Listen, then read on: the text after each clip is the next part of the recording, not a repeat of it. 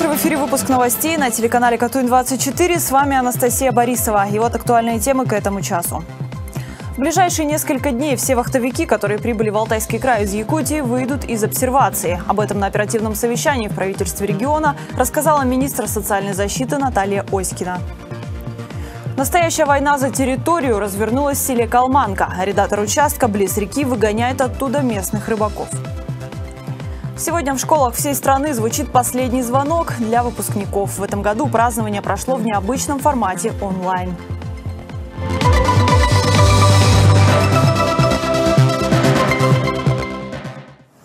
В ближайшие несколько дней все вахтовики, которые прибыли в Алтайский край из Якутии, выйдут из обсервации. Об этом на оперативном совещании в правительстве региона рассказала министр социальной защиты Наталья Оськина.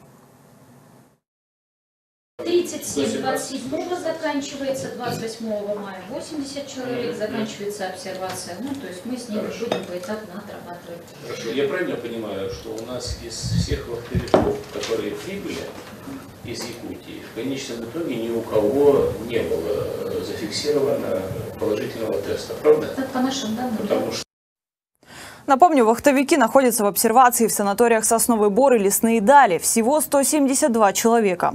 Условия пребывания ежедневно мониторят специалисты Министерства социальной защиты. Все вопросы отрабатываются совместно с администрацией обсерваторов. Большинство из них касаются оформления больничных листов и тестирования на COVID-19. Добавлю, накануне из обсерватора «Сосновый Бор» выехала первая группа вахтовиков. Это 100 человек. Для больных коронавирусом в Каменском районе развернули лечебный госпиталь. Пациентов туда привозят со всего района. С больными в режиме полной изоляции 24 часа в сутки работают медики. О том, как врачи в прямом смысле живут на работе и какие для них там создали условия, смотрите в нашем следующем сюжете. Это комната, где живут сотрудники. Комнаты на одного-двух человек, столовая, зона отдыха с компьютером и даже теннисный стол. Так живут медики в госпитале для больных COVID-19 в Камне-на-Оби. Меры предосторожности строжайшие, внутрь, естественно, никого не пускают. Эту видеоэкскурсию специально для нашей съемочной группы сняла медицинская сестра Наталья Ковалева. Вот она, разговор с прессой только через окно. Для Натальи сегодня последний день вахты, завтра домой. Говорит, не столько устала, сколько соскучилась по родным. В госпитале девушка работает с апреля, как только в Каменском районе обнаружили первых больных. Все это время с родными общалась только по телефону. Созваниваемся. Ну, допустим, вот честно говоря, у меня времени, было, ну, минут 30 в течение суток, когда я могла пообщаться с мамой, там, с мужем, с ребенком. В течение суток я выделяла им только такое количество времени, потому что я все время чем-то была занята. Ну, очень соскучилась. Вот так, бок о бок в госпитале живут и трудятся около 25 медработников, реаниматологи, инфекционисты и младший медицинский персонал. Работа, как говорится, недалеко от дома. Первый этаж отделения комнаты медперсонала, второй – палаты больных. Туда врачи поднимаются только в защитных костюмах и масках. Поэтому пациенты даже не знают лица своих спасителей. Мера хоть и строгая, но необходимая. То есть мы-то там закрытые все. Я потом одному уходил, он, я говорю, ну приезжай, если бабой будешь, заходи в гости. Ну, Я ж тебя в лицо даже не видел. Благодарят, естественно, не только пациенты, но и государство. Весь медицинский персонал госпиталя уже получил положенные выплаты. Например, врачи около 80 тысяч рублей. Сумма весомая, но, конечно, никакими деньгами подвиг специалистов не измерить. На данный момент госпиталь работает на весь э, Каменский медико-географический округ. Оказывает помощь э, всей территории пациентам. На сегодняшний день здесь находится на лечении 21 пациент. То есть Вирус у всех пациентов Каменского госпиталя протекает в легкой форме. Больные находятся под круглосуточным контролем. Выписывают их, как и положено, только после двух отрицательных тестов на COVID-19. Такие же тесты сдают и медики, когда уезжают домой.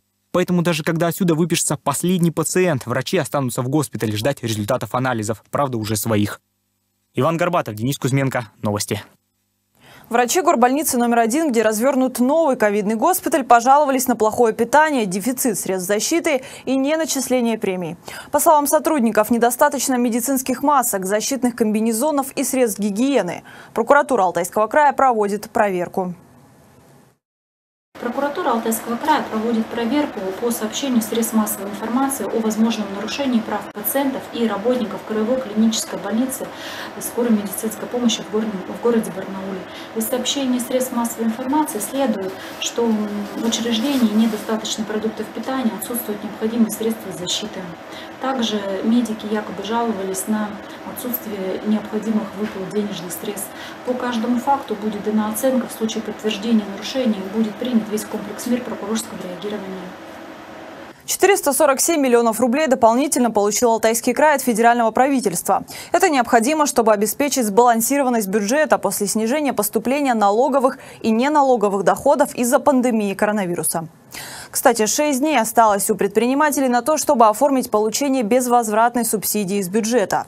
Речь о сумме 12 130 рублей. Их выплачивают из расчета на каждого трудоустроенного работника. Подробнее расскажет Константин Ганов. В перечне пострадавших от пандемии отраслей туризм. Санаторий «Обские плюсы» – один из тех субъектов малого предпринимательства, которые уже получили оформленные субсидии. Мама троих детей Елена Буляндра благодаря этой поддержке сохранила свою работу. Вопрос стал, где дальше работать или оставаться здесь, может быть. У меня трое детей, я одна у них. Потом мы узнали, что нас не будут увольнять. Немножко мы побыли дома. И это тоже нужно был период. Нас снова пригласили, мы работаем. Самой приятной мерой поддержки для нас стала безвозмездная субсидия из федерального бюджета. Она рассчитывается из э, суммы 12 130 э, рублей на одного человека. У нас э, работает порядка 100 человек. Еще одна мера поддержки – это кредит на заработную плату под 0%. Мы тоже оформляли, так как заработная плата – это, наверное, основное, что нам необходимо, чтобы сохранить наш коллектив. Люди любят у нас отдыхать, ездить, и поэтому мы, конечно же, ждем, когда нам разрешат работать. Оксана Белоусова до объявленных мер поддержки тоже подумывала об увольнении, чтобы прокормить троих детей. Думала, да, хотелось уволиться и найти себе другую работу, где будут платить. Ну, подумали, решили остаться. Раз есть поддержка, поработаем, выдержим. Мы сохранили коллектив, получили государственную поддержку. Э, основная часть этой государственной поддержки пошла на выплату заработной платы работникам. Всего в Алтайском крае на 25 мая прямую поддержку из бюджета получили более 7,5 тысяч субъектов малого бизнеса. Общая сумма выплаченных средств составила 362 миллиона рублей. По данным налоговой службы региона, в крае на такую поддержку может претендовать около 20 тысяч юридических лиц и индивидуальных предпринимателей. Из них пока только половина, то есть всего 10 тысяч субъектов оформили заявление на получение субсидии. У остальных время пока есть, тем более, что у тех же ИП процедура подачи заявки упрощена максимально. Индивидуальные предприниматели сейчас, заполнив заявление непосредственно своего личного кабинета, не должны его подписывать, то есть просто нажимают кнопку «Отправить», и оно автоматически улетает в систему, где также автоматически проходит проверку, и решение принимается где-то в течение двух суток. И это самый простой способ, потому что оно там предзаполнено, все данные по налогоплательщику есть уже. Еще раз напомним, подать заявку на получение безвозмездной субсидии от государства на апрель предприниматели могут до 31 мая включительно. Подробные инструкции по оформлению и подаче заявления размещены на сайте налог.ру. При этом лично приходить в налоговые органы не обязательно. Главное, будут сохранены люди и рабочие места. Константин Ганов, Алексей Шаульский, Анатолий Фукс. Новости.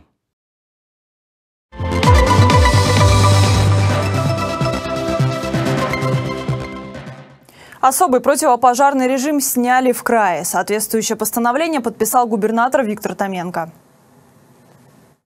Всем руководителям органов местного самоуправления поручено самостоятельно принимать решения в случае необходимости, значит, будут вводиться на территории. Связи с погодой сохраняется высокая опасность э, распространения пожаров э, и э, по ряду районов объявлен пятый класс горимости. Из-за коммунальной аварии на улице Антона Петрова начался потоп. Водопровод диаметром 400 миллиметров разорвало, и вода начала выливаться на проезжую часть. На месте работали специалисты Росводоканала и Горсвета. Как сообщают в Росводоканале, порыв локализован. Без воды остаются детский сад и школа, однако детей там нет. У остальных потребителей водоснабжение организовано в полном объеме. Настоящая война за территорию развернулась в селе Калманка. Арендатор участка близ реки выгоняет оттуда местных рыбаков. Вот теперь поверишь, что на самом Калманке дела переворачивал. Нет, вот интересно, а если бы кто-то сидел бы там? Он же не предупредил, не Военный пенсионер и рыболов-любитель Олег Трубников рассказывает. 20 мая в 6 утра на лодочный причал у реки Калманка приехал фронтальный погрузчик и свалил фургончик местную сторожку – канаву. Олег говорит, сторожка была пустая, а вот местный пес, который был на цепи, мог пострадать. Такая импульсивная акция – результат конфликта рыболовов и арендатора участка. Восемь лет жили мирно, даже сотрудничали. Взяв землю в собственность на 49 лет, арендатор предложил сделать здесь лодочный причал. Рыбаки поддержали. На словах договорились о плате за стоянку – тысяча рублей в месяц. Но потом, говорит Олег Трубников, условия изменились. Более того, за 8 лет арендатор ни слова не сказал рыбакам, что участок находится в его временной собственности. С очередным повышением цены до полторы тысячи народ как бы запротестовал и отказались. Он сказал, все освобождайте участок, это моя земля. Мы... 10 лет вы считали, что это нормально? А мы не знали даже про это. Нет, что... ну вы же платили. Мы платили по тысяче рублей, Ну, начиналось. все равно ну, вам, э, если это... Но это на организации, это наши как бы были условия, это было всем по карману, это как бы всех устраивало, что здесь все под охраной находится. После конфликта с рыбацкой артелью арендатор решил в прямом смысле забаррикадировать свою территорию. Поставил шлагбаум и отсыпал вот такую большую кучу глины. Арендатор участка Александр Пернай ничего противозаконного в своих действиях не видит. Говорит, сторожку он убрал со своей территории. Быть ее там вообще не должно. Земля на участке сельхозназначения и в водоохранной зоне. Водоохранная зона, значит, вот для этой речки, это 200 метров от, э, берега, э, от э, русла реки. То есть, где, согласно статье 65 Водного кодекса Российской Федерации, пишется, что движение в границах водоохранных зон запрещается. Движение, стоянка транспортных средств. Не должно быть ни автомобилей, никаких там этих самых на колесах и так далее. Это, было, это был прицеп с будкой. Рыболовы несколько раз обращались в прокуратуру, требовали признать, что статус участка другой, не сельхозназначение. Подключалась и районная администрация. Обращались с иском в суд, чтобы признать сделку по аренде земли, кстати, муниципальной, недействительной. Данный земельный участок у нас граничит с водным объектом, это река Калманка, и находится в водоохранной зоне. Прошлом году в аналогичный период времени данный арендатор перекрыл проезд к водному объекту, пригнав гусеничный трактор и установив шлагбаум. 2 мая текущего года арендатор вновь перекрыл подъезд к реке шлагбаумом, а также насыпью из глины, чем незаконно ограничил права граждан на свободный доступ к водному объекту общего пользования. Подобные действия мы считаем, что нарушают права граждан, в том числе и Российской Федерации, являются недопустимыми. Ни один из исков не удовлетворили, хотя, по словам юриста Татьяны Корнелюк, не пускать людей к воде арендатор не имеет права без договора о водопользовании. К тому же, никаких объектов на берегу строить нельзя. Кстати, как нам стало известно, договора о водопользовании нет ни у одной из сторон. Для того, чтобы законно строить там какие-то причалы, не знаю, судоремонтные какие-нибудь сооружения, пляж обустраивать, беседочки строить. Для этого нужно заключать другой договор, договор водопользования. Поэтому мне в первую очередь совершенно непонятно, на каком основании один человек столько лет брал деньги, а другие столько лет добросовестно эти деньги платили, причем без всяких документов. Рыболовы после случая с фургончиком готовят очередные обращения в прокуратуру и полицию, а также иск в суд с требованием возместить ущерб за причинение вреда имуществу. И надеются, скоро война за территорию закончится, а вот арендатор на мировую идти не хочет. Что вы сейчас планируете, собственно, дальше вот с этим делать? Да ничего не буду, я не планирую делать. Пускай они планируют. И убирается, приводит в соответствие закона. Владислав Кириенко, Анатолий Фукс. Новости. Больше тысячи жителей края пострадали от укусов клещей за прошедшую неделю. Всего с начала пика активности членистоногих в поликлинике края жалобами на укусы обратились больше пяти тысяч человек. Подавляющем количестве случаев клещи были не энцефалитными, это почти 95%. Всем пострадавшим ввели иммуноглобулин, заболевших нет. Напомню, пик активности клещей традиционно приходится в мае и июне. Именно в этот период нужно быть особенно осторожным. На прогулку в лес нужно одеваться так, чтобы насекомое не попало под одежду. Специалисты рекомендуют наносить репелленты, которые отпугивают клещей. Также в крае полным ходом идет противоклещевая обработка территорий. По данным регионального управления Роспотребнадзора, уже обработали почти полторы тысячи гектаров площадей. Места для противоклещевой обработки выбирают, исходя из социальной значимости. Это базы отдыха, парки и скверы. Обработку проводят специалисты химическими препаратами, инсектицидами. После попадания химического раствора на клеща насекомое попадает, погибает в течение суток.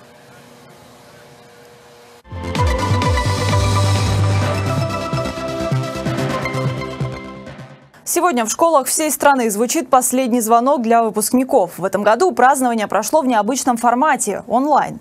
Подробнее расскажет моя коллега Анара Шагирова. Последний звонок в этом учебном году для многих учеников пройдет в необычном формате. Каждый год на этой площади собираются ученики, а в этом году они приходят по одному к своим учителям и дарят букеты. Дорогая Юлия Геннадьевна, от имени всех выпускников 2020 года поздравляем вас с последним звонком. Спасибо, мои дорогие выпускники. Я очень сегодня волнуюсь, потому что мы сегодня немножечко в необычном таком формате, но я точно знаю, что вы все сегодня рядом со мной, поэтому я вас искренне поздравляю. Я желаю, чтобы исполнились все ваши мечты, реализовались все самые смелые планы. И я очень прошу, Вика, чтобы вы обязательно передали всем, что для вас всегда открыта в школе дверь. Один из самых запоминающихся дней школьной жизни в этом году у выпускников – грустный. На глазах слезы не только из-за расставания с родной школой. Рядом нет нарядных одноклассников, в школьных коридорах тихо, а классы пустуют. Последний звонок хоть и прозвучит, но для каждого отдельно. Очень грустно, что мы не смогли в этот день собраться всем вместе, всем классом, станцевать последний школьный вальс. Но мы очень рады, что наш э, выпуск такой необычный, и у нас такой особенный последний звонок. Юлия Геннадьевна – единственный педагог Алтайского края, ставший участником всероссийской акции «Последний звонок-2020». Ей выпала почетная миссия – поздравить с окончанием учебного года не только своих учеников, но и выпускников всей России. Неважно, за, по ту сторону экрана находятся школьники или стоят рядом, очень важно вот это сердечное ощущение каждого из них, их все эмоции, они сегодня нам тоже передаются, поэтому, конечно, в привычном варианте, когда все выпускники находятся рядом. Впереди у школьников экзамены и выпускной бал, который запланировали на конец июля. Ученики готовят номера и, конечно же, наряды. Очень надеются, что станцевать последний школьный вальс все-таки получится. Анара Шагирова, Анатолий Фукс. Новости. Таким был этот день. С вами была Анастасия Борисова. Хорошего вечера.